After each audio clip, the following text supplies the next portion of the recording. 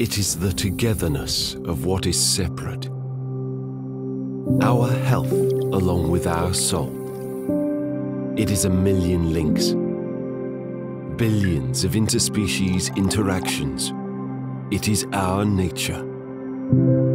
Take a look and imagine what science hand by hand with our nature can produce—a harbor deeper than beautiful.